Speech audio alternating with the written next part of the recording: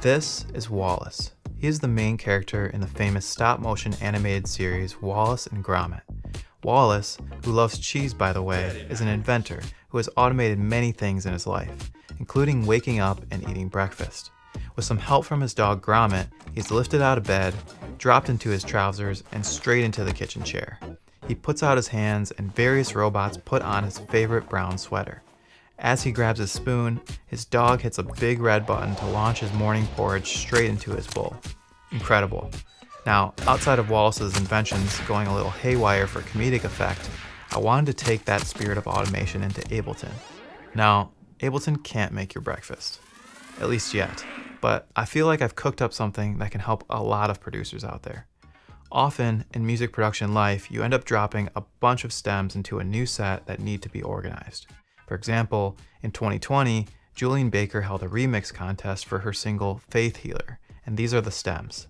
Now, I don't remember if I didn't realize the contest was already over, or I just wanted to check them out because I like her sound and wanted to learn more about it. Either way, something about going through the process of labeling, organizing, and color coding all these tracks got me thinking. And then it got me coding.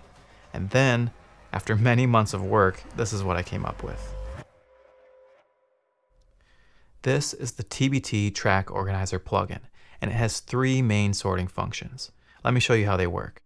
Let's start with the least flashy one, the Update Selected button. This button is meant to be mapped to a key or MIDI note. That's why it says map in parentheses, so I'm going to map it to the letter Q. Then I can simply select a track, press Q, and boom, it's automatically named and color-coded for me. I can customize what gets updated using these settings. This works for all the sort functions, by the way. For example, I'm going to turn off track names. Then let's say I made a new track and called it Trevor's Vocal. Press Q and it's automatically color coded, but it's not renamed. The update selected feature is meant to be a handy tool for keeping things organized as you go. You can create your own shorthand and then quickly color code and name things as you work. But it's not really ideal when you've just dropped in a bunch of stems like we have here. That's where these next two sorting functions come in. For example, if I press update all, it will immediately name and color code every single track that it finds a match for. It's a great tool because it's really fast and easy to use, but we can take it one step further. I'm going to press undo to return the tracks to how they were.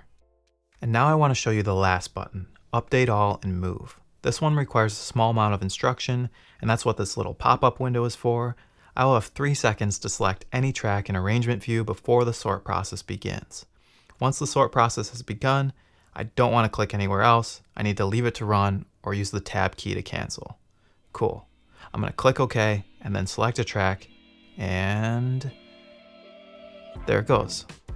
It has labeled and colored all the tracks and clips as before, but now, as you can see, one by one, it's moving each track into an order that I have predefined.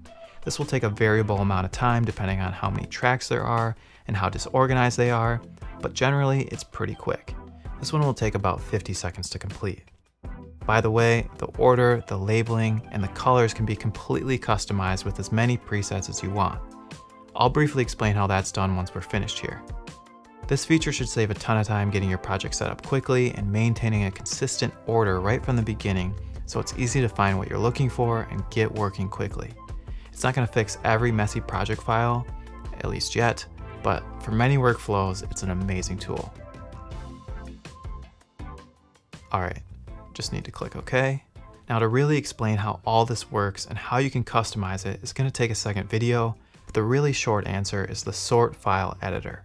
Using the sort file editor, you can do things like change what order everything should be in, what names you want the tracks to be assigned, what color you want them to be. You can also just delete or add any keywords you want. If you want the full deep dive on the sort file editor and how sorting works in general, I've got a video right next to this one on the product page. The link is in the description of this video, but other than that, thanks for hanging out. I hope this helps some of you out there make some music. Like and subscribe if you want to stay tuned, and I'll hopefully catch you in another video soon.